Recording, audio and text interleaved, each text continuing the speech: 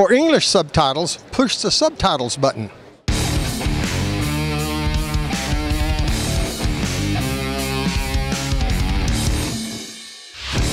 Hallo zu einer neuen Reptil-TV-Folge. Mein Intro-Tierchen, ein Super Krebbel, Super Pastell. Ne? Also Königspython haben wir natürlich vielleicht ein bisschen überrepräsentiert in Reptil-TV. Äh, aber nicht umsonst heißt es ja äh, Check My Balls. Ne? Da muss ich ja auch die, die Königspython oder ist das sowieso mein Steckenpferd. Ähm, und dieser Super Krebbel, Super Pastell, also finde ich nach wie vor einer der tollsten Kombos. Äh, ist gar nicht so neu. Ich glaube, wir haben vor wahrscheinlich vor zwei Jahren schon äh, den ersten davon gezüchtet, haben jedes Jahr so zwei, drei Stück davon. Gerade der Pastell Super Gravel sieht schon wirklich schön aus, aber als äh, Super Pastell Super Gravel, beziehungsweise andersrum ist richtig Super Gravel Super Pastell, ne, da haben wir es schön alphabetisch, tun wir die Namen immer wenig halten. Ähm, Finde ich es echt der Knaller, das Weiß, dann die schwarz umrandeten gelben Flecken. Also das ist, äh, ich finde, das könnte man sich besser nicht ausdenken, wenn man irgendwie Artist, Künstler, irgendwas wäre. Also ich finde es wunderschön und deswegen das Intro-Tierchen für euch heute. Unser Thema heute sind die grünen Baumpythons, die umgangssprachlich Chondros. Ähm, vorneweg, jeder, der das Tier hier sieht, wird sagen, ach ja, das ist ein Morelia viridis. Ähm, der Gag ist, seit 2020 äh, heißen die nimmer Morelia oder beziehungsweise doch, sie heißen zum Teil, es, es gibt, also die sind neu äh, bestimmt worden. Es gibt einen nördlichen und einen südlichen Baumpython.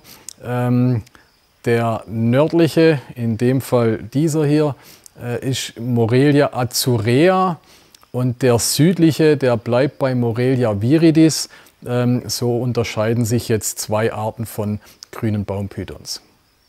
Zur Kontrohaltung haben wir ja die Folge 5051 mit dem Stefan King gemacht äh, können wir in der Infobox äh, können wir euch verlinken. Äh, da gehen wir auf die Haltung ein. Das ähm, machen wir dann heute nicht als Thema oder beziehungsweise ähm, ich möchte es einmal ganz grob anreißen. Äh, wir machen tagsüber, braucht der Chondro so um die 30 Grad. Äh, nachts gehen wir runter auf äh, zwischen 22 und 25 Grad.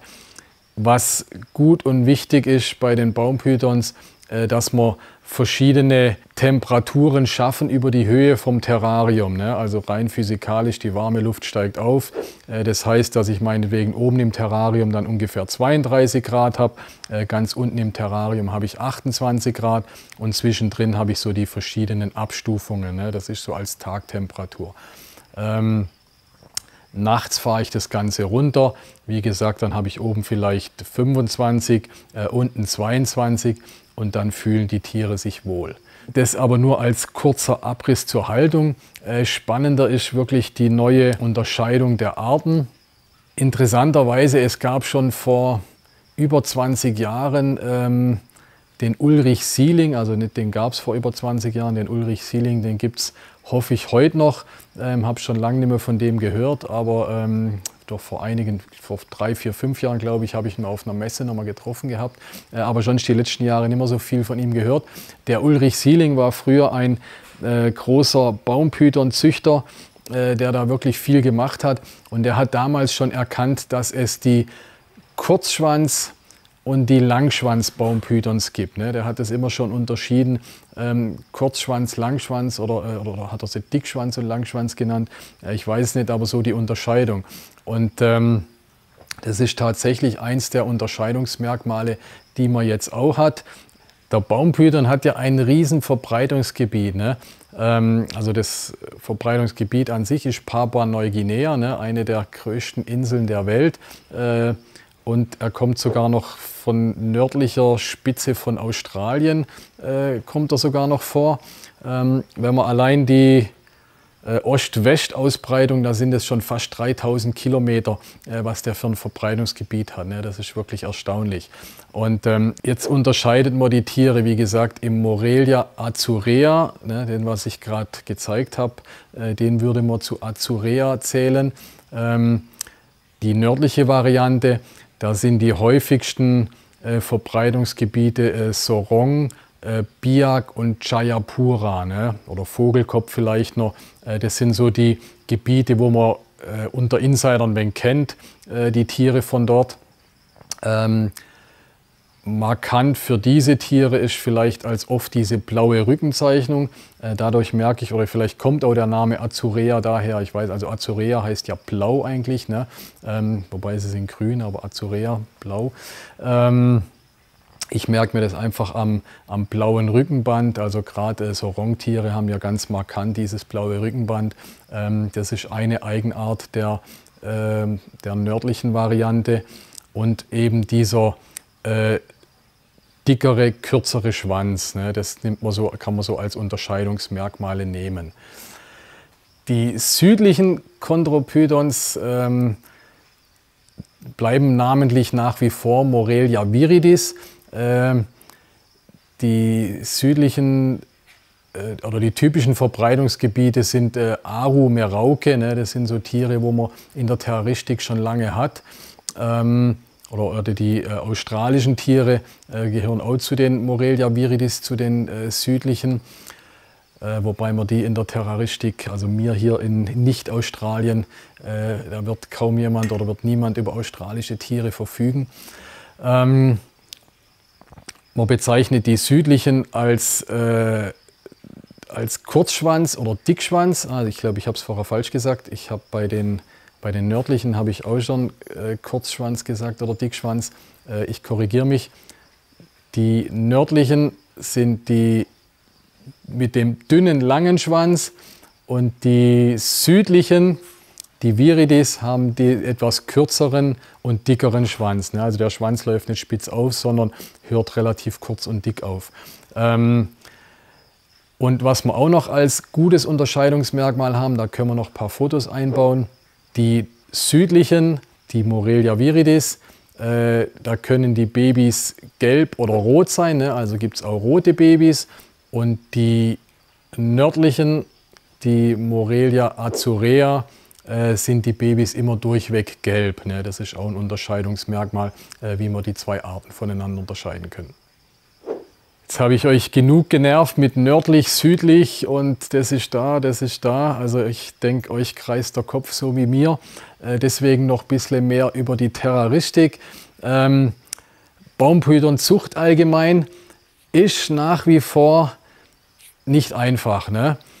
Ähm, das, das Interessante ist, man kann einen Königspython oder eine Boa, die kann man jedes Jahr züchten oder von mir aus alle zwei Jahre, aber die kann man wirklich regelmäßig züchten.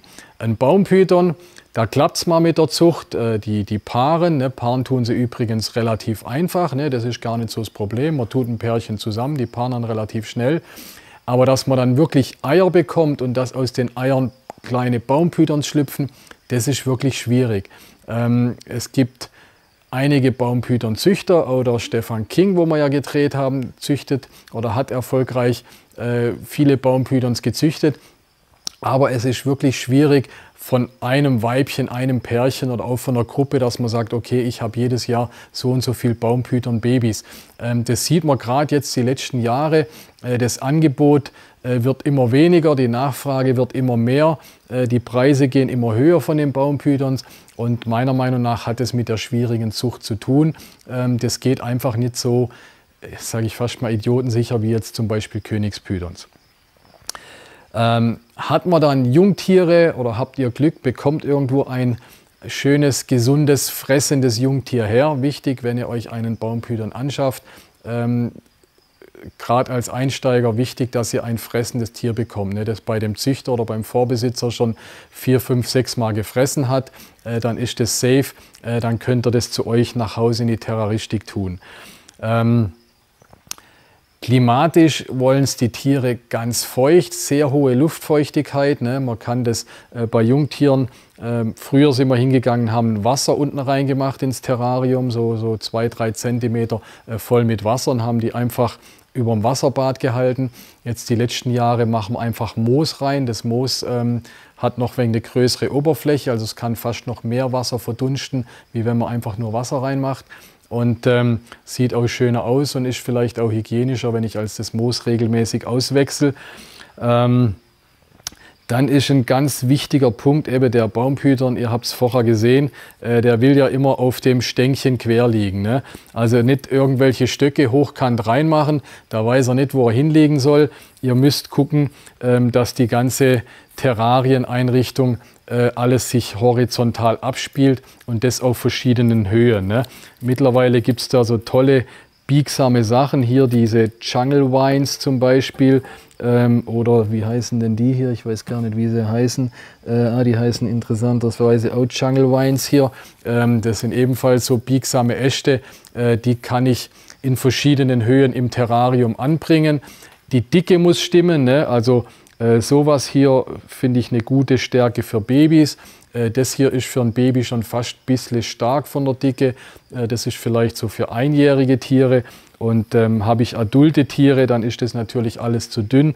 Äh, dann brauche ich das Ganze äh, stärker, vielleicht so zwei, drei Zentimeter Durchmesser oder wie ihr vorher den äh, Korkast gesehen habt. Ähm, wie gesagt, dass die sich schön in der Horizontalen hinlegen können. Dann ist ein tolles Terrarientier äh, sind auch relativ umgänglich. Ist jetzt kein Tier, was ich äh, so großartig anfassen kann. Deswegen habe ich auch das Tier vorher auf dem Ast gezeigt. Äh, ein Baumpütern, der mag es nicht in der Hand gehalten zu werden. Da kann der sich nicht richtig festhalten. Ne? Der hat ja seine typische Form, wie er sich so drüber hängt. Äh, deswegen in der Hand fühlt er sich einfach nicht wohl. Ähm, aber wie gesagt, ein tolles Terrarientier, wenn die Luftfeuchtigkeit stimmt, wenn die Äste stimmen, wenn ihr gesunde Tiere habt, lässt er sich wirklich toll halten in der Terroristik, äh, macht wirklich Spaß. Ob ihr jetzt einen Morelia azurea oder einen Morelia viridis äh, euch anschafft, äh, vom, vom Halten her, von der Größe, ne, ja, Größe hatte ich noch nicht erwähnt, Endgröße vielleicht so, naja, Meter 50 bis Meter 70 würde ich mal sagen, ähm, ist immer schwer zu messen. Das Tier, was ich vorher in der Hand hatte, der hat bestimmt auch Meter 40, Meter 50 gehabt. Ne? Also das hört sich riesengroß an, ist aber letztendlich auch nur so ein Päckchen an Python. Ähm, tolles Terrarientier. Ich finde diese neue Unterscheidung zwischen den zwei Arten wirklich spannend und interessant. Äh, deswegen habe ich euch das äh, vorgestellt. Und ähm, ja, tolles Terrarientier. Abgesehen von unseren äh, Condro Reptil TV Folgen, ähm, die wirklich toll und sehenswert sind, äh, schaut rein oder schaut nochmal rein, wenn ihr sie schon lange nicht mehr gesehen habt. Ich habe es jetzt im Vorfeld von der äh, Folge mir auch mal wieder angeschaut. Ähm, die machen wirklich Spaß. Ähm, aber auch der Verweis auf wirklich sehr gute Literatur. Es gibt zwei tolle Bücher über den Baumpython.